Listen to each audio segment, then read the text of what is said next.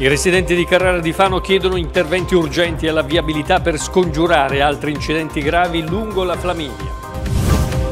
Caos in zona mare a Fano, camion bloccati dalle auto in sosta nei nuovi parcheggi in Viale Adriatico. È difficile, non ci passa, ecco, senti, sta dicendo che proprio non ci passa. Deve spostare la macchina bianca. Questa è l'intelligenza dei, dei nuovi parcheggi e non è la prima volta che succede. Eh?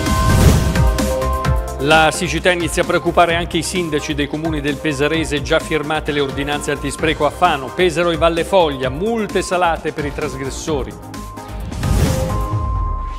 Anche nelle Marche si sfiorano i 30 gradi ormai da diversi giorni. Per chi può scatta la corsa al mare in piscina per fronteggiare la canicola estiva. Dalla città di Udine a quella di Copenaghen in bicicletta, l'impresa di un 53 di Fossombrone appassionato di ciclismo in programma 1800 km da percorrere in due settimane. Occhio alla notizia, in studio Marco Ferri. Un cordiale saluto dalla redazione di Fano TV, buonasera, benvenuti a questo nuovo appuntamento con l'informazione locale sul canale 19. Occhio alla notizia che questa sera apre con l'appello lanciato dai residenti di Carrara di Fano che chiedono interventi urgenti al Comune per risolvere il problema dell'alta velocità delle macchine lungo la Flaminia. L'ultimo incidente è accaduto infatti pochi giorni fa.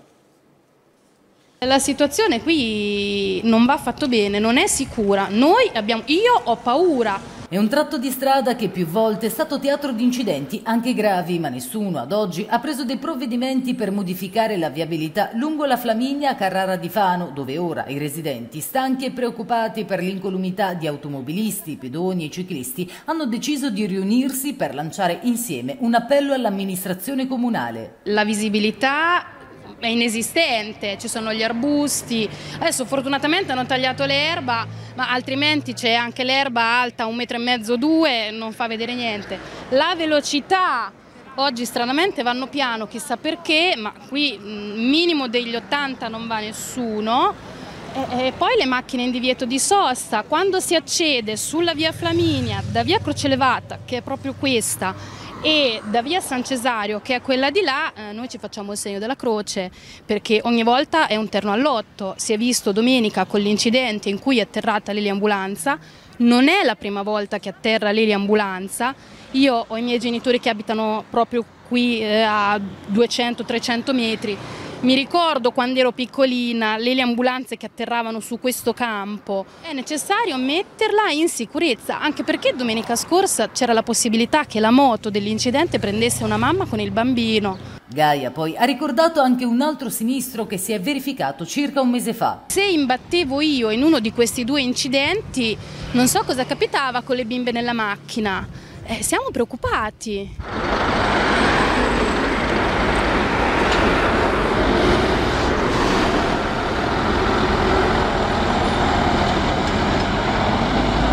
Lei abita qua e diceva che preferisce prendere la superstrada perché è più sicura. Esatto, io vivo qui ma lavoro Calcinelli e ogni mattina verso le sette e mezza, otto, invece che attraversare questo incrocio dove mi incontro le macchine da Lucrezia che vengono giù a velocità sostenuta, ho la semicurva, non vedo bene, poi ho anche l'incrocio di chi scende da San Cesario e va a Fano invece di rischiare tutti i giorni per andare a lavorare, preferisco prendere la superstrada o alcune volte succede anche che se il traffico è intenso mi invento una rotatoria, non sono l'unica, in diversi, giriamo la macchina nel parcheggio che c'è vicino al parco e poi ci rechiamo poi verso Lucrezia. Ma qui, ha proseguito Roberta, è pericoloso anche per i pedoni che attraversano la strada proprio perché la visibilità è ridotta e la velocità dei veicoli è sostenuta. Una situazione che si protrae ormai da tantissimo tempo, come la state vivendo e quali sono le soluzioni che chiedete? Allora, la situazione purtroppo ecco, sì, si protrae da un sacco di tempo e nonostante epiloghi molto tristi non siamo giunti ad una vera soluzione del problema perché praticamente non si è fatto nulla nonostante la gravità degli episodi accaduti secondo noi residenti la soluzione sarebbe una rotatoria per cui c'è tutto lo spazio necessario in questa zona e chiaramente adottare autovelox anche a discapito di noi residenti perché sicuramente eh, non dico che io rispetti 50 in ogni tratto di strada però sicuramente per me e per la maggior parte delle persone che abitano in questo tratto di strada la soluzione è solamente in questi mezzi. Se eh, chi di competenza ci può aiutare a risolvere il problema, perché la sera, di giorno, in certi orari questa strada diventa una strada dove si fanno gare, le macchine sorpassano ad una velocità pazzesca. Purtroppo non siamo neanche dotati di piste ciclabili, di nulla, cioè pensare di uscire in bici qui e dire non so, esco ma non so se rientro a casa. E comunque eh, denunciamo il disagio per noi residenti, ma proprio per l'incolumità di tutti i cittadini perché non è giusto che in questa strada si possa andare ancora così velocemente nonostante tutti gli episodi che sono avvenuti.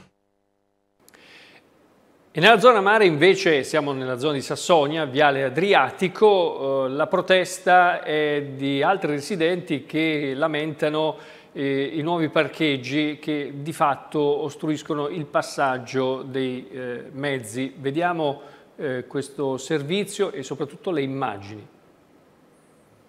Ecco cosa succede con i nuovi parcheggi che hanno realizzato Viale Dante Lighieri.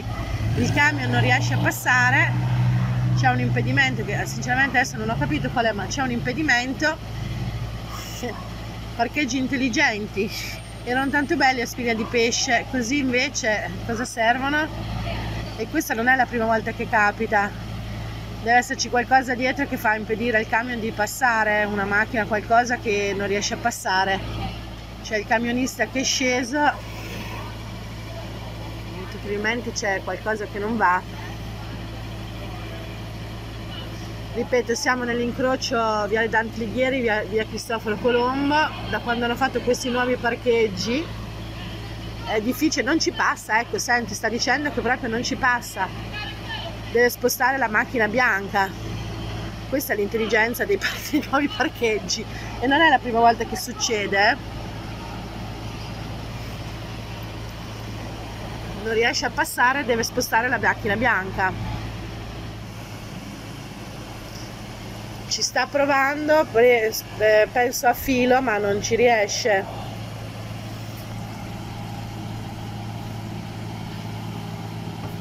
Ripeto, non è la prima volta che succede.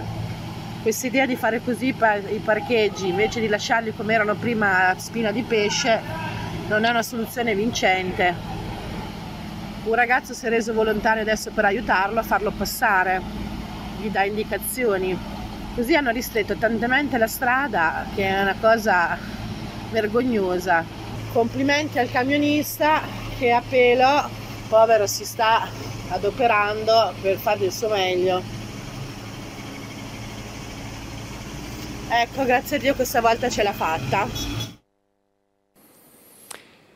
E adesso invece la pagina degli incidenti, perché purtroppo accadono anche quelli. Un incidente si è verificato eh, questa mattina dopo le 10 in via Roma a Fano, un fanese di 45 anni a bordo di una Panda dell'azienda Aset, giunto all'altezza di via Togliatti, nello svoltare a sinistra è entrato in collisione con un 33enne perugino in sella ad una bicicletta. Quest'ultimo che percorreva via Roma sulla pista ciclabile a causa dell'urto ha riportato lievi lesioni. Sul posto la polizia locale, il 118 che ha trasportato il 33enne al pronto soccorso del Santa Croce. Poco prima, in Viale Romagna, sempre a Fano, una cinquantenna alla guida di una Volkswagen Up ha tamponato l'autocarro che la precedeva. Il conducente, un pesarese di 37 anni, stava rallentando per far attraversare un pedone. La donna, che è rimasta ferita, è stata portata in ospedale. E adesso invece cambiamo argomento, parliamo della siccità, eh, del caldo, ma anche e soprattutto in questo momento della siccità, perché alcuni eh, sindaci hanno già deciso di eh, correre eh, perlomeno ai ripari. Eh, in che modo? Eh, firmando in anticipo le cosiddette ordinanze antispreco, antispreco d'acqua. E allora ricordiamo anche che ci sono multe salate per i trasgressori. C'è chi gioca d'anticipo e non attende la dichiarazione ufficiale dello stato di emergenza o l'ordinanza della Regione Marche che verrà emessa nei prossimi giorni in coordinamento con le prefetture. In alcuni comuni infatti scattano già le prime disposizioni per il risparmio idrico che rimarranno in vigore fino al prossimo 30 settembre. Il sindaco Palmiro Occhielli ha firmato un provvedimento per limitare l'utilizzo dell'acqua potabile ai soli usi primari, alimentari o igienico-sanitari. Stessa ordinanza anche a Fano e a Pesaro. Ad elencare i divieti l'assessore alla sostenibilità sostenibilità Eidi Morotti. Come annaffiare orti, eh, lavare o sciacquare o bagnare cortili, strade, lavare auto, riempire piscine, eh, insomma tutto quello che non è un uso domestico dell'acqua potabile. Pertanto mh, chiediamo anche la collaborazione della cittadinanza perché è molto importante in questo momento visto che eh, non piove effettivamente da moltissimi mesi e eh, la siccità si comincia a far sentire. Per i trasgressori, inoltre, sono previste sanzioni tra i 25 e i 500 euro. Se dovessero esserci delle segnalazioni o la polizia locale durante le loro normali attività di controllo dovessero vedere qualche atteggiamento contrario alla ordinanza, sicuramente entreranno, entreranno in azione e applicheranno le sanzioni previste. La responsabilità e le buone pratiche del singolo, ha proseguito l'assessore, se condivise fanno la moltitudine e quindi la differenza anche in termini di buon esempio e di passaparola virtuoso di scelte sostenibili. Morotti poi ha invitato i pesaresi ad adottare alcune azioni quotidiane. Si chiede alla cittadinanza di essere il più possibile collaborativi, eh, possibilmente di mettere dei frangi, frangigetto nei rubinetti di casa, nelle docce che comportano un risparmio idrico del 50%, di cercare di riutilizzare l'acqua casalinga dove possibile per annaffiare le piante, eh, di chiudere i rubinetti mentre ci si lava i denti, si fa lo shampoo, insomma cerchiamo di avere tutti quegli atteggiamenti e quegli accorgimenti possibili per cercare di risparmiare un po' di acqua e di venirci tutti incontro. E l'altra faccia della medaglia, con le temperature così elevate, le, so le giornate praticamente eh, soleggiate, eh, è una toccasana invece per eh, coloro che sono in vacanza e che dunque vanno e decidono di passare le loro giornate al mare. Dopo onda, sfideremo il mare con la ciurma è iniziata anche quest'anno la stagione estiva. Ci troviamo nel lungomare di Fano in Sassonia dove andremo ad incontrare alcuni bagnanti che ci racconteranno come passeranno le loro vacanze estive.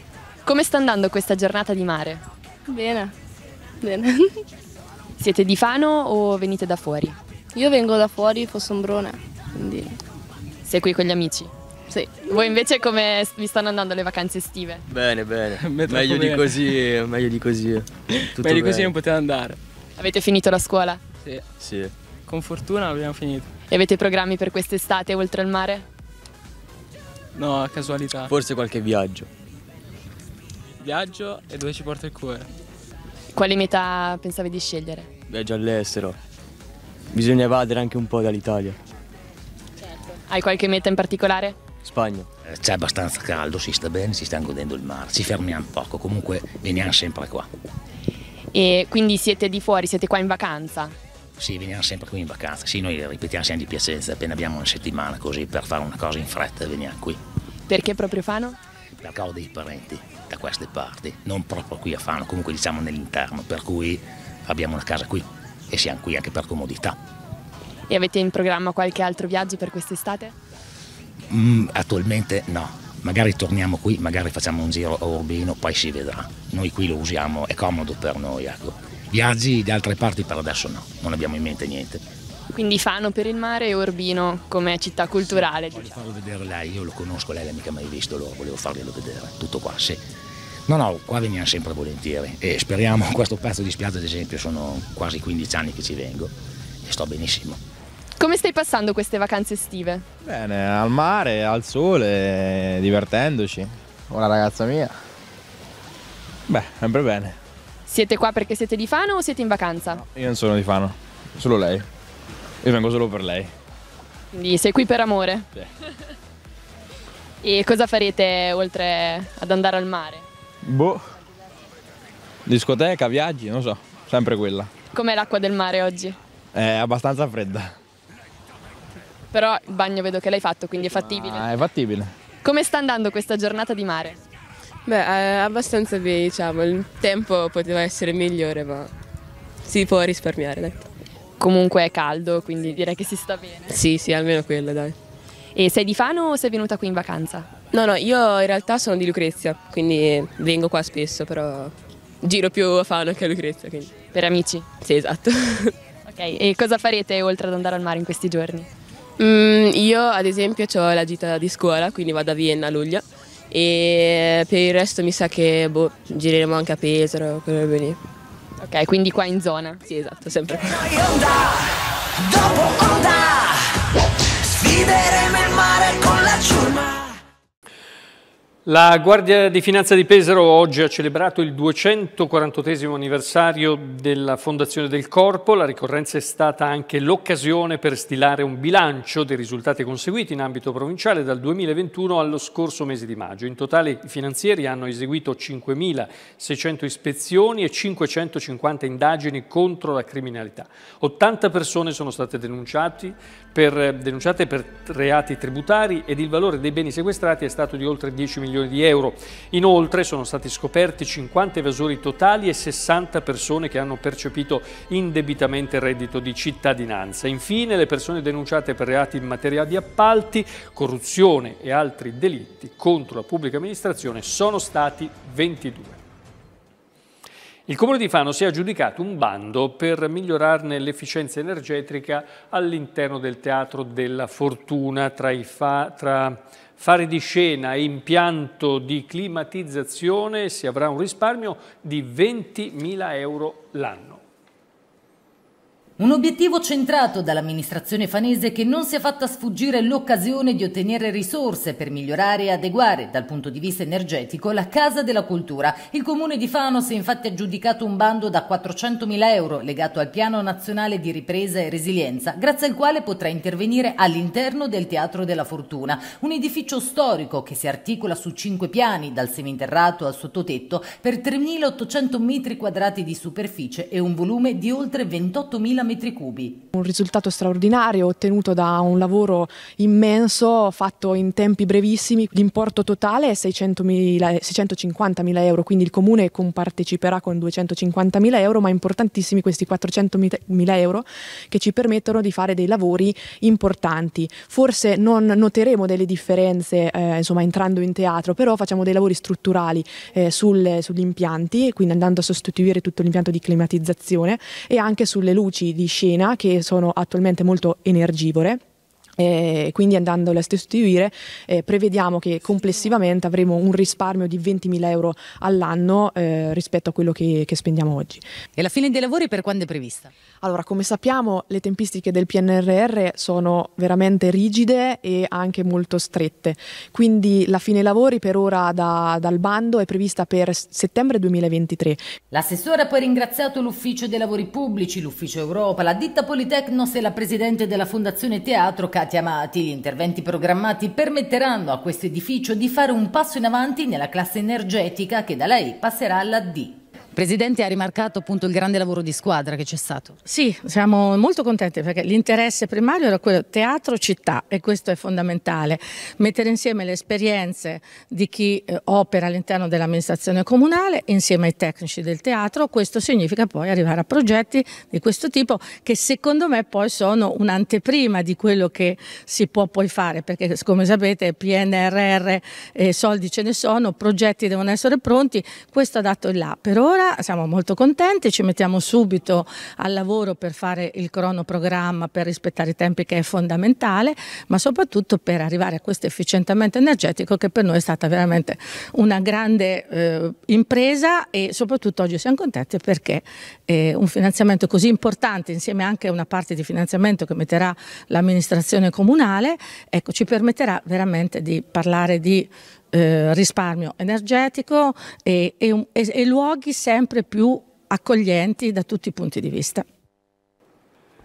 Domenica prossima dalle 7 alle 23 i cittadini di cinque comuni marchigiani torneranno alle urne per i ballottaggi delle elezioni amministrative. Si voterà a Civitanova Marche, Corridonia e Tolentino in provincia di Macerata, a Iesi in provincia di Ancona e a Sant'Elpidio al Mare provincia di Fermo. Lo spoglio inizierà la sera stessa, subito dopo la chiusura delle votazioni.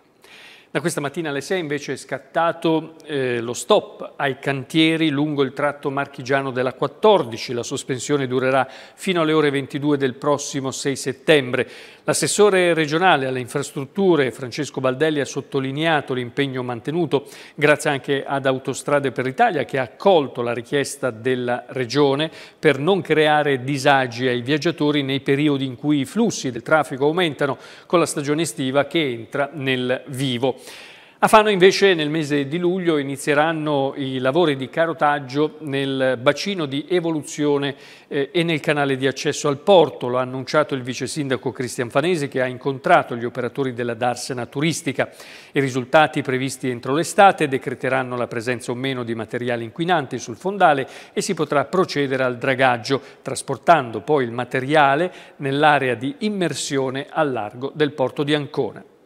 E adesso diamo spazio ancora alle vostre segnalazioni con un video che un nostro reporter di strada ha realizzato in un parcheggio pubblico. Qui siamo eh, adiacenti al eh, Comet di Fano nella zona sud. Il segnalatore ha sottolineato l'inciviltà totale delle persone facendo vedere la sporcizia e come vedete con decine di rifiuti di ogni genere gettati a terra e lo stato di degrado del eh, parcheggio d'incuria.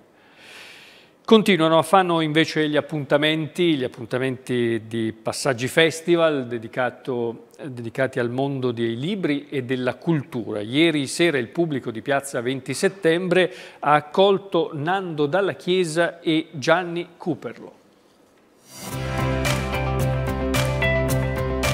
Passaggi Festival continua a stupire e a riempire tutte le piazze e i luoghi scelti per le rassegne librarie che animano la decima edizione. Il pubblico presente alla quarta giornata ha vissuto un momento dedicato alla commemorazione del trentennale della strage di Capaci con la presenza sul palco di Piazza 20 Settembre di Nando Dalla Chiesa. La possiamo definire ormai un amico di passaggi, stasera sarà sul palco per presentare che cosa?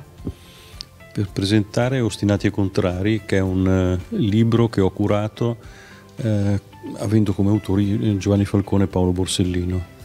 È un libro pensato per questo trentennale, per eh, ricordare alle persone che cosa Falcone e Borsellino hanno detto e scritto e, e non soltanto la leggenda che ci commuove, perché eh, poi bisogna imparare da queste persone, bisogna sapere che cosa hanno detto, cosa pensavano davvero. Secondo lei come è cambiata in questi anni la lotta alla mafia? Beh, in 30 anni è cambiata molto. Eh, intanto bisogna mm, pensare che eh, ci sono delle leggi nuove, non soltanto la legge Riunioni Latore che è dell'82, quindi è di prima, ma le leggi sulla collaborazione eh, dei cosiddetti pentiti, la, la legge sull'isolamento in carcere, la legge soprattutto che consente l'utilizzo sociale dei beni confiscati, che è stata una rivoluzione e che ha creato anche una nuova economia antimafiosa. Molto lavoro è stato fatto anche nelle scuole, ha proseguito dalla Chiesa, che ha poi ricordato le diverse condanne all'ergastolo dei capi delle organizzazioni dei clan di Cosa Nostra, della Camorra e dell'Andrangheta, nonché l'istituzione della giornata nazionale della memoria. Tutto questo però non basta, ha sottolineato lo scrittore, ma abbiamo lavorato in tanti e utilmente. Cosa si auspica per il futuro dell'Italia, ma soprattutto degli italiani? È un paese che sappia continuativamente essere civile, non soltanto di fronte alle grandi tragedie, riscoprirsi, ma avere la continuità per cui a un certo punto davvero possa non avere bisogno degli eroi. Tra gli ospiti ieri sera anche il sottosegretario di Stato con delega alle pari opportunità e ai giovani Vincenzo Spadafora, il filosofo Maurizio Ferraris e l'ex membro della Camera dei Deputati Gianni Cooperlo. Rinascimento europeo è il titolo del suo libro, qual è lo scopo e l'obiettivo di questo libro e a chi è rivolto?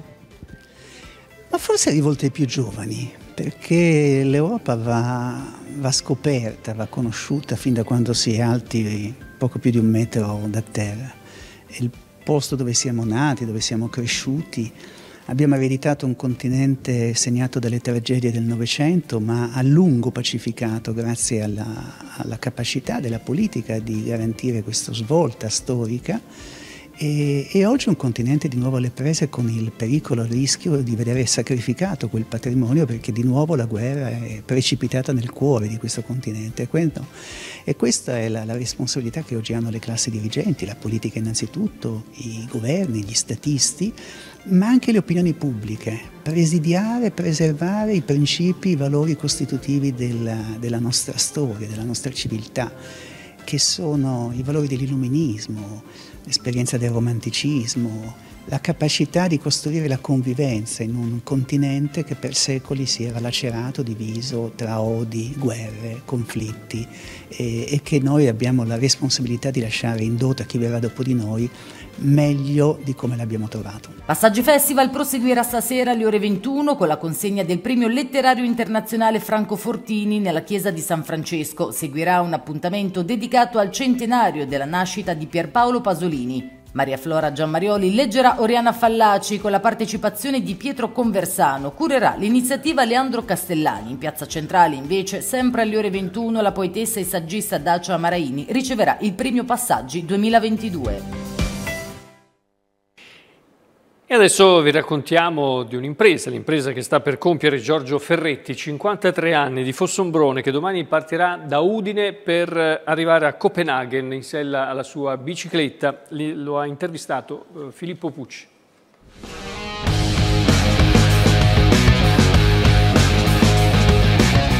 Il forsempronese Giorgio Ferretti, 53 anni, appassionato di ciclismo da sempre, partirà domani 25 giugno da Udine con destinazione Copenaghen.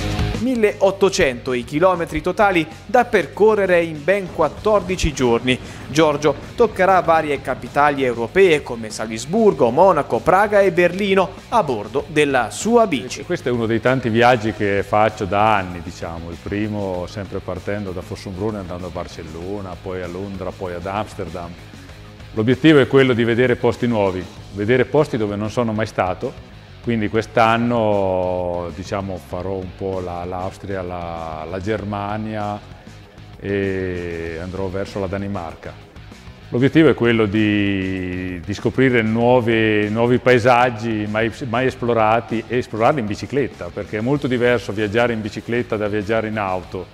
Eh, C'è tutto un altro approccio, tutto un altro sentimento e altre sensazioni.